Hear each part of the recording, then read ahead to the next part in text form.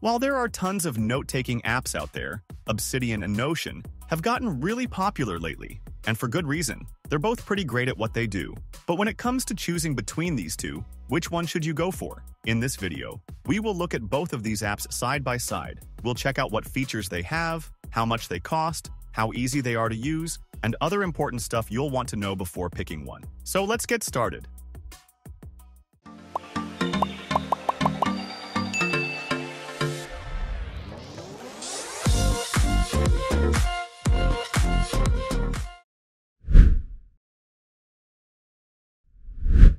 Let's start with the basics. Obsidian and Notion are both useful tools for organizing your thoughts, but they approach this task in very different ways. Obsidian is all about creating a network of interconnected notes, kind of like building your own personal wiki. It's designed to be a second brain, where you can store and link all your ideas. Notion, on the other hand, is more like a Swiss Army knife for productivity. It can be molded into pretty much anything you need, from a simple note-taking app to a full-blown project management system.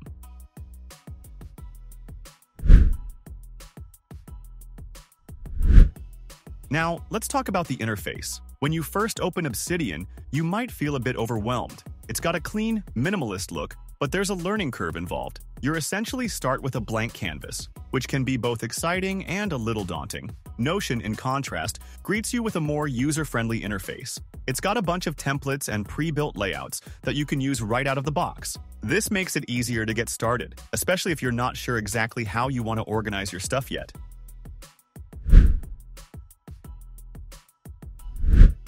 One of the coolest things about Obsidian is its graph view. Imagine being able to see all your notes as a web of interconnected ideas. It's like looking at a map of your brain. You can see how different concepts link together, which can spark new insights and help you make connections you might have missed otherwise. This feature is particularly useful for researchers, writers, or anyone who deals with complex, interrelated information. Notion doesn't have anything quite like this, although it does offer different ways to visualize your data, like Kanban boards and calendars.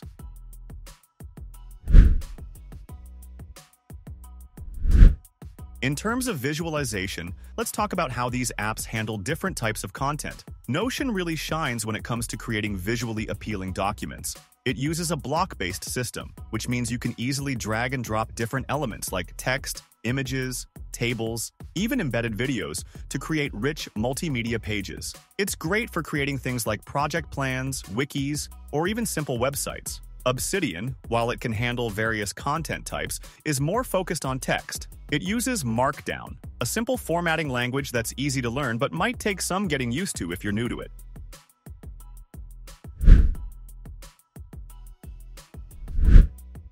Now, here's a big difference between the two. Obsidian is a local-first app, while Notion is cloud-based. What does this mean for you? Well, with Obsidian, all your notes are stored right on your computer. This has some big advantages. First, you don't need an internet connection to access your notes. If you're someone who likes to work offline or you're often in places with spotty internet, this is a huge plus. It also means your data is completely under your control, which is great if privacy is a big concern for you. Notion, being cloud-based, requires an internet connection to access your data, but this also means it's easier to collaborate with others and access your notes from any device.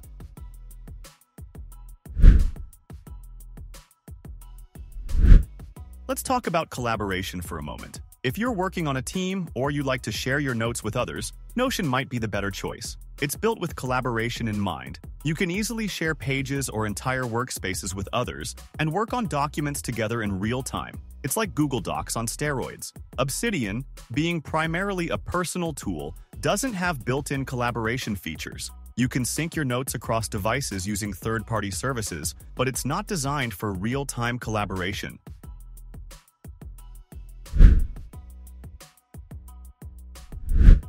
Now, customization is where both these apps really shine, but in different ways. Obsidian has a thriving community of developers creating plugins and themes. If you're willing to tinker a bit, you can customize Obsidian to do almost anything. Want to add a calendar view? There's a plugin for that. Want to change the entire look of the app? You can do that too. Notion's customization is more about how you structure your workspace. You can create custom databases, link different pages together, and create your own templates. It's flexible, which allows you to build complex systems that fit your exact needs.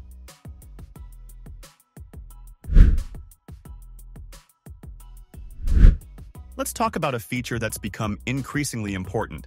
Notion has recently introduced Notion AI, which can help with all sorts of tasks like summarizing text, generating ideas, or even writing drafts. It's like having a smart assistant right in your workspace. Obsidian doesn't have built in AI features, but there are community plugins that can add some AI functionality. If having AI assistance is important to you, Notion might have the edge here.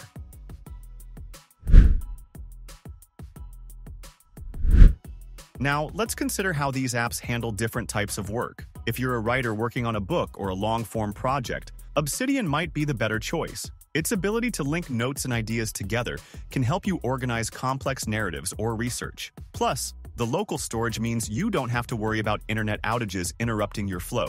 On the other hand, if you're managing projects or running a small business, Notion's database features and collaborative tools might be more useful. You can create task boards, track inventory, manage customer relationships, and more, all in one place.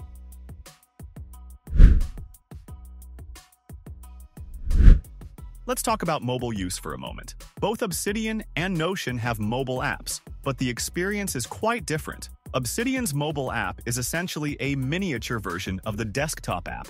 It's great for capturing quick thoughts or reviewing your notes on the go, but it might feel a bit cramped if you're trying to do serious work. Notion's mobile app while not as fully featured as its desktop version, feels more polished and easier to use on a small screen. It's better suited for quick check-ins on your projects or jotting down ideas when inspiration strikes.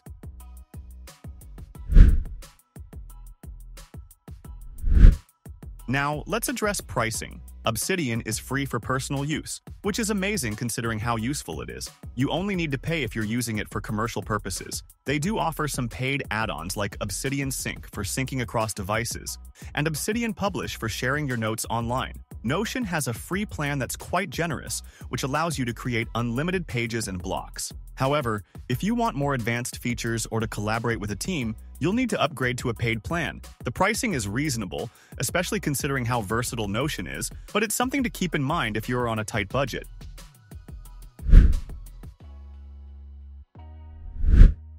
Let's consider the learning curve for both apps. Obsidian, with its focus on linked notes and Markdown, can take some time to get used to. If you're not familiar with Markdown or the concept of networked thought, there might be a steeper learning curve. But once you get the hang of it, it can be incredibly helpful. Notion, while it has a lot of features, is generally easier to pick up. Its user-friendly interface and pre-built templates mean you can start being productive right away. However, to really harness its full potential, you'll need to invest some time in learning how to create and link databases, set up automations, and customize your workspace.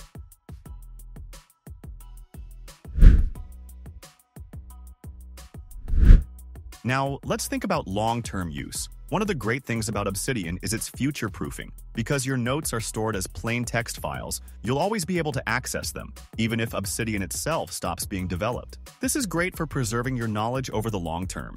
Notion, being cloud-based, doesn't offer this same level of future-proofing. However, it does offer a variety of export options, so you can always get your data out if you need to.